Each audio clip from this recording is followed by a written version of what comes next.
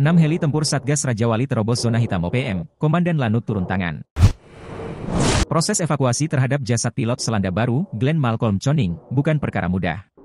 Sebab, lokasi jasad terletak di area di mana OPM beroperasi. Boleh jadi, pasca penembakan terhadap sang pilot, beberapa anggota OPM masih siaga di lokasi. Namun, TNI tetap harus menjalankan misi berbahaya ini.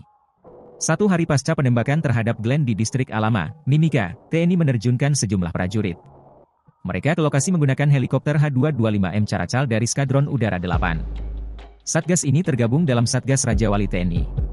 Setiba di lokasi, prajurit sontak langsung siaga. Mereka berlari mengendap ke tempat jasad korban yang masih berada di dalam helikopter MD-500R. Beruntung, tidak ada gangguan selama proses evakuasi sehingga jasad Glenn bisa segera dievakuasi. Tugas TNI di Mimika belum selesai.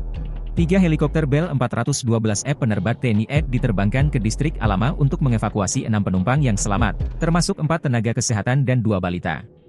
Para penumpang yang berhasil dievakuasi tersebut kemudian dibawa ke Lanut Yohanis Kapiau, YKU, Timika. Komandan Lanut Yeku, Letkol PNB Kamto Adi Saputra, turun langsung membantu proses evakuasi tersebut. Dan Lanut Yeku menyebutkan bahwa misi evakuasi tidak mudah. Namun merupakan tanggung jawab bersama sebagai prajurit TNI untuk membawa pulang korban. Dengan upaya dari pasukan gabungan TNI, akhirnya evakuasi penumpang berhasil dilakukan.